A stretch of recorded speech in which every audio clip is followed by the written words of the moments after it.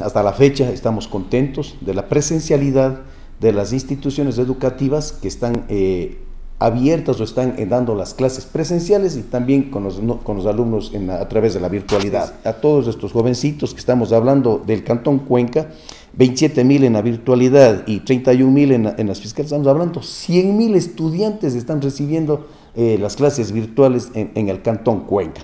Hago este llamado, por favor, las instituciones educativas estamos cumpliendo el PICE, que es el Plan Institucional de Continuidad Educativa, para que puedan tener este, este regreso tranquilo. Sabemos, eh, eh, licenciado, que, que, los focos de contagio no están en las instituciones educativas, están afuera, en las fiestas familiares, están en las calles, están en ciertos lugares de, espacios de, de, de, como malls, bueno, etcétera, etcétera.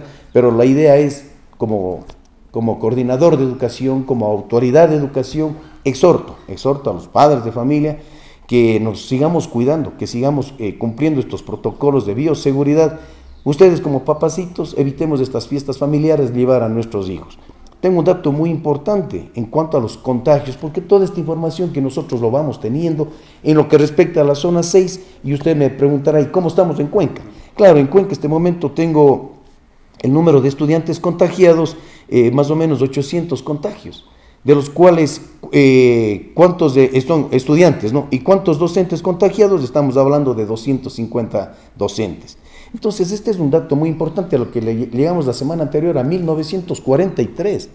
Entonces, todo esto es una información que nosotros estamos recopilando todos los días, pidiendo esta información para tener esta base de datos y poder eh, transmitir a la ciudadanía. La voz del Tomebamba, la radio de las noticias.